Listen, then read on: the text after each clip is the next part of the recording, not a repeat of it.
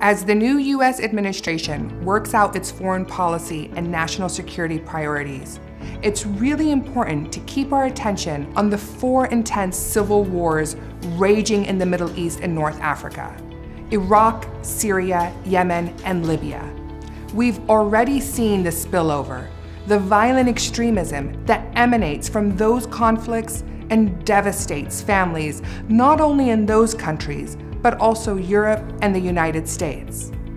Despite what often seems like intractable situations, there are steps the United States and international partners can take to reduce the violence and help move these countries to greater stability.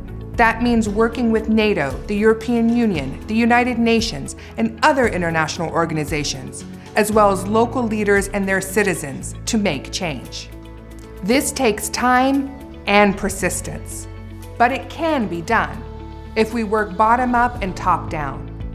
In addition to our military efforts and the critical humanitarian aid we can provide, we also need to deploy vigorous diplomacy to resolve these conflicts. And we need to support local citizens in these countries who are working to reduce local tensions so they don't generate more violence the U.S. Institute of Peace has invested in mediators and facilitators on the ground across the Middle East and North Africa.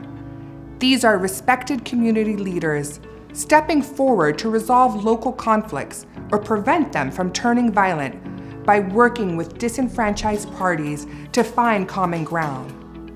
This has led to displaced people returning home, communities and roads opening, basic improvement in their day-to-day -day lives, showing us that sustainable peace can be achieved.